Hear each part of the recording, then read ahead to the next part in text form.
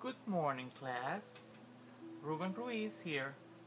Today we're going to start um, preparing a canvas, the substrate which can be another surface, but today we're going to refer to canvases. Um, how to achieve a super smooth texture in the canvas. You can prime five times and sand in between or you can cut it off in two simple steps or three.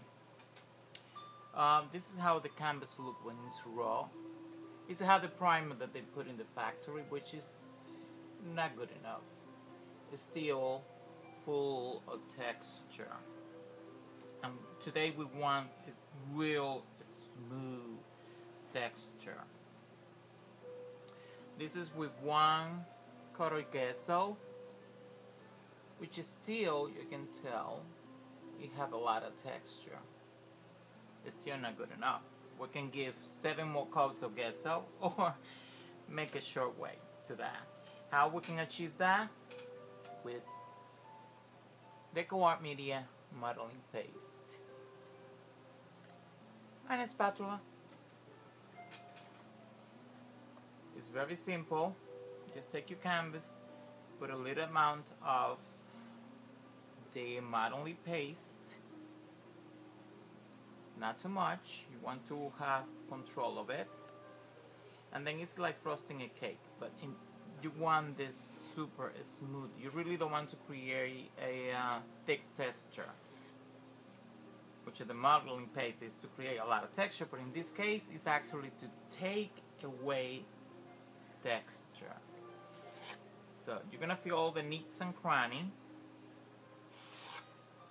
like with a spatula. It's like you put in the modeling paste and you scrape it away. So only filled up all the tiny little holes in it. Very easy. the child can do it. It's also a lot of fun. I put too much.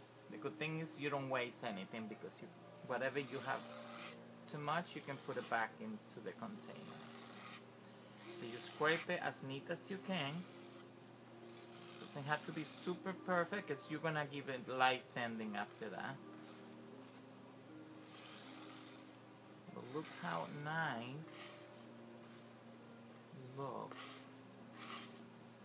and how quickly also you can work instead of spending a couple of days giving endless layers of gesso. See? Smooth. Now, after I give that, give a light sanding, not a big, you don't want to be too abrasive because you don't want to break into the fabric. Of course, wipe right away your spatula. You don't want the modeling paste to get hard in your spatula. Then it's gonna be hell. Try to take it off.